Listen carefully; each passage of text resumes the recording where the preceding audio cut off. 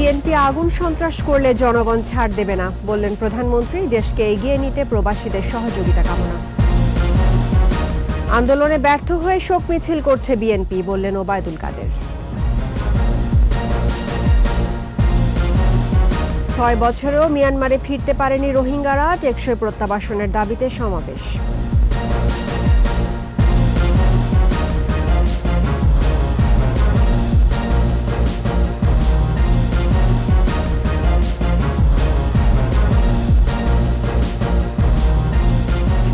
First Security, Islami Bank Limited সংবাদ শিরোনাম, আমন্ত্রণ রাত এগারোটার একুশের সংবাদে। সঙ্গে আছি রাহনুমা রাহিদ দর্শক, একুশে টেলিভিশনের সংবাদ একই সাথে সরাসরি দেখতে পাবেন আমাদের Facebook page W W W dot Facebook dot com slash Ekushey twenty four অনলাইনে প্রধানমন্ত্রী শেখ হাসিনা বলেছেন, বিএনপি আবারও আগুন সন্ত্রাসের পথ বেছে নিলে দেশের জনগণ ছাড় দেবে না।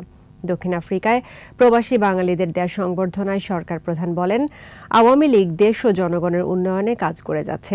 দেশকে এগিয়ে নিতে প্রবাসীদের সহযোগিতা চান বঙ্গবন্ধু কন্যা। মানিক শিকদারের রিপোর্ট। ব্রিক্স সম্মেলনে অংশ নিয়ে প্রধানমন্ত্রী বেশ কিছু অনুষ্ঠানে যোগ দিয়েছেন। বিভিন্ন সরকার প্রধান ও বিশ্বনেতাদের সাথে বৈঠকের পাশাপাশি প্রবাসী বাঙালিদের সংবর্ধনায় যোগ দেন। আমি ঠিক জানি না। দক্ষিণ আফ্রিকা আওয়ামী লীগ আয়োজিত সংবর্ধনা অনুষ্ঠানে যোগ দিয়ে দেশের উন্নয়নে প্রবাসীদের সহযোগিতা চান প্রধানমন্ত্রী। অপ্রতিরোধ গতিতে বাংলাদেশ যে এগিয়ে যাচ্ছে সেই বাংলাদেশকে এগিয়ে নেওয়ার যা- দায়িত্ব কিন্তু আপনাদের সেটাও আমি আপনাদেরকে অনুরোধ করি।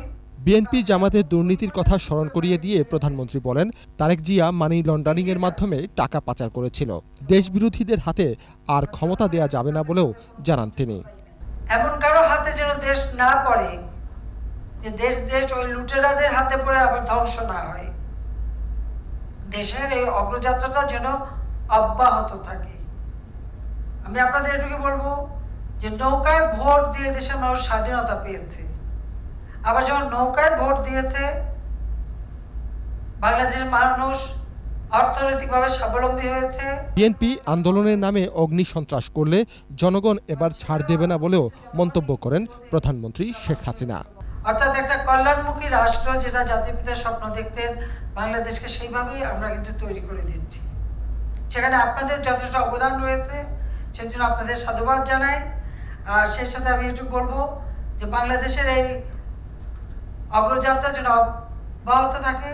মানিক শিকদার, একুশে টেলিভিশন, ঢাকা। আন্দোলনে ব্যর্থ হয়ে বিএনপি কালো পতাকা নিয়ে শোকের মিছিল করছে বলে মন্তব্য করেছেন আওয়ামী লীগ সাধারণ সম্পাদক ও সেতুমন্ত্রী ওবায়দুল কাদের। বঙ্গবন্ধু এভিনিউয়ে ঢাকা মহানগর দক্ষিণ আওয়ামী লীগের শান্তি সমাবেশে ওবায়দুল কাদের আরও বলেন, আন্দোলনের নামে বিএনপির নাটক তাদের নেতাকর্মী সহ দেশবাসী আর দেখতে চায় না। দুর্নীতিবাজ বিএনপি ক্ষমতায় যাওয়ার যে দিবা স্বপ্ন দেখছে তা কখনোই পূরণ হবে না বলেও মন্তব্য করেন আওয়ামী লীগ সাধারণ সম্পাদক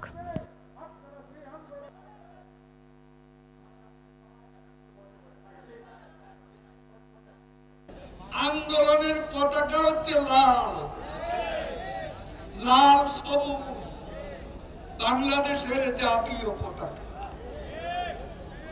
আজকে এরা তোমার স্বাধীনতা সার্বভৌমত্বের প্রতি এদের কোনো দরদ নেই। মিছিল বলে গণমিছিল।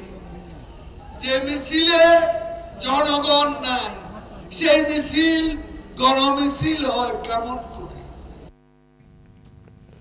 বিএনপি ছাড়া এদেশে কোনো নির্বাচন হতে দেয়া হবে না বলে মন্তব্য করেছেন দলটির নেতারা। এক দফা দাবিতে রাজধানীর শ্যামলী রিং রোড থেকে মোহাম্মদপুর বাস স্টেশন পর্যন্ত কালো পতাকা মিছিল করেন বিএনপি নেতাকর্মীরা। এর আগে কালো পতাকা, ব্যানার, ফেস্টুন ও দলীয় পতাকা নিয়ে খণ্ড খণ্ড মিছিল নিয়ে জড়ো হন নেতাকর্মীরা। এ সময় বক্তারা বলেন, বিএনপি ছাড়া কোনো নির্বাচন হবে না, ফয়সালা হবে রাজপথে। সরকার মিথ্যাচার করছে বলেও অভিযোগ করেন তারা।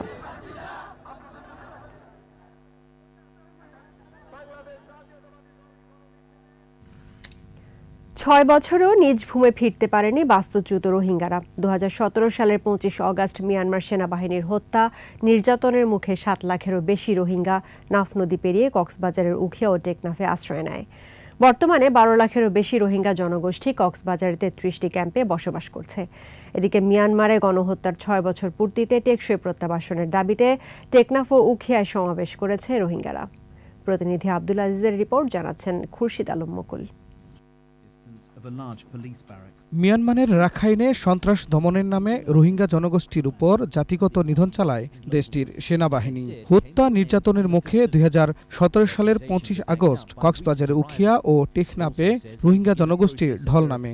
দুই তিন মাসের মধ্যেই উখিয়া ও টেকনাপে আশ্রয় নেয় সাড়ে সাত লাখের মতন রোহিঙ্গা। ওই বছরেই বাংলাদেশ মিয়ানমারের সাথে রোহিঙ্গাদের স্বদেশে ফেরত পাঠাতে দ্বিপক্ষীয় আলোচনা শুরু করে। পরবর্তীতে কয়েক দফা উদ্যোগ নিলেও একজন রোহিঙ্গাও মিয়ানমারে ফেরত যায়নি। রোহিঙ্গাদের দাবি নাগরিকত্ব জাতিগত দাবি ভূমি অধিকার ও গণহত্যার বিচারের নিশ্চয়তা না পেয়ে তারা মিয়ানমারে ফিরলে আবারও নির্যাতনের মুখে পড়বে। আর যে গ্রামত ছিলাম দিলে। আর যাচ্ছি স্যার। সংকট সমাধানে প্রত্যাবাসনের বিকল্প নেই উল্লেখ করে কক্সবাজার শরণার্থী ত্রাণ ও প্রত্যাবাসন কার্যালয়ের কমিশনার জানিয়েছেন প্রত্যাবাসন প্রক্রিয়াটি চলমান রয়েছে। সার্বিকভাবে কক্সবাজারের মানুষের উপরে ব্যাপক নেতিবাচক প্রভাব পড়ছে। আইনশৃঙ্খলা পরিস্থিতির অবনতি ঘটছে। এদিকে বাস্তুচ্যুত হওয়ার ষষ্ঠ বার্ষিকীতে টেকনাপ ও উখিয়ায় সমাবেশ করেছে রোহিঙ্গারা। সমাবেশ থেকে টেকসই প্রত্যাবাসনের দাবি জানান রোহিঙ্গা নেতারা। যে ইতারা মানে গড়ের সুকুরিয়া গড়ত দিয়ে আনো ভূমিকা আরও বাড়াই আর যদি গড়ত দইলে আর আর জান নাকি সলিউশন আছে আন রাইট সলিউশন নিয়ে লিবে যেন আর আশা করি। আশ্রয় দেয়ায় বাংলাদেশ সরকারের প্রতিও কৃতজ্ঞতা ঝরে রোহিঙ্গাদের কণ্ঠে। এর মজলুম মক্কুল রোহিঙ্গার সাহারা দিয়ে এখনও দিয়ে আলহামদুলিল্লাহ বেশা বেশি করি আল্লাহ বাংলাদেশ সরকারের টিফাই রাখুক। খুশিদ আলম মুকুল একুশে টেলিভিশন।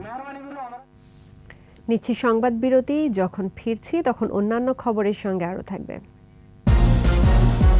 জোহানেসবার্গে মোদি জিনপিং বৈঠক। সীমান্ত উত্তেজনা নিরসনে রাজি ভারত, চীন। আমন্ত্রণ আবারও রাত এগারোটার একুশে সংবাদে। বিএনপিকে জনগণ লাল পতাকা দেখিয়ে দিয়েছে বলে মন্তব্য করেছেন তথ্য ও সম্প্রচার মন্ত্রী ডক্টর হাসান মাহমুদ। বলেছেন, যারা মানুষ পোড়ায়, দেশের মানুষ তাদের সমর্থন দেবে না। বিকেলে রাজশাহীর আড়ানিতে শোকসভায় মন্ত্রী আরও বলেন, আন্দোলনের নামে আওয়ামী লীগকে ধাক্কা দিতে গিয়ে চিৎপটাং হয়ে পড়ে গেছে বিএনপি।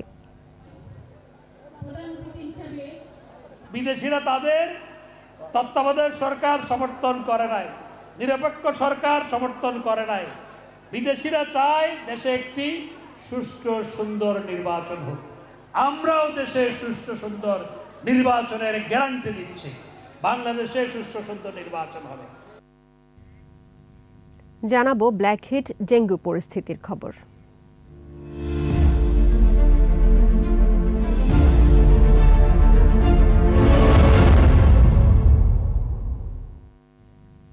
রংপুর মেডিকেল কলেজ হাসপাতালে খোলা হয়নি ডেঙ্গু ওয়ার্ড। রোগীদের দেয়া হচ্ছে না ওষুধও।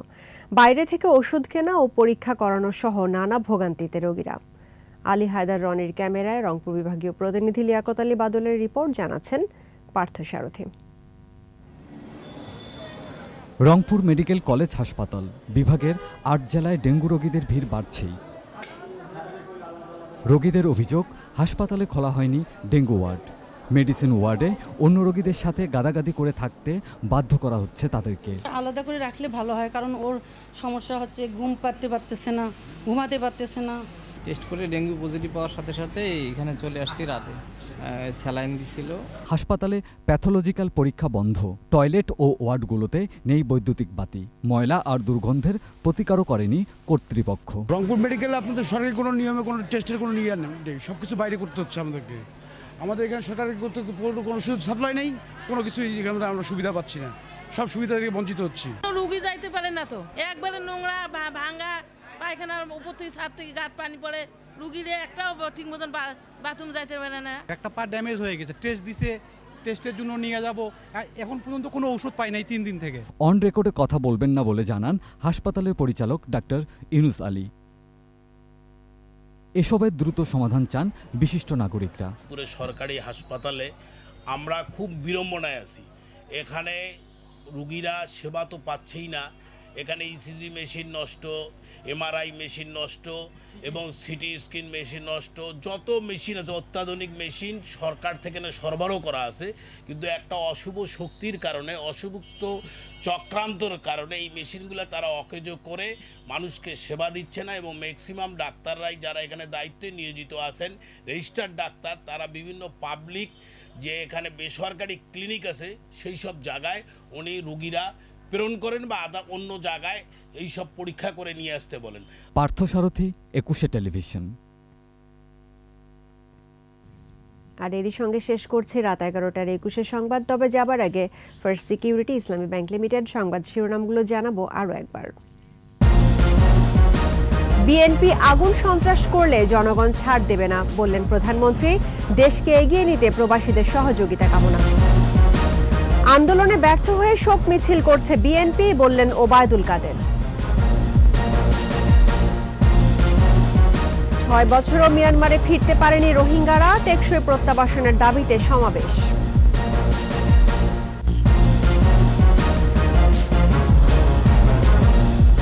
দর্শক একুশের সর্বশেষ খবর জানতে ডায়াল করুন টু জিরো টু ওয়ান নম্বরে আর ভিজিট করুন একুশে ড্যাশ টিভি ডট কম এই ওয়েবসাইটে।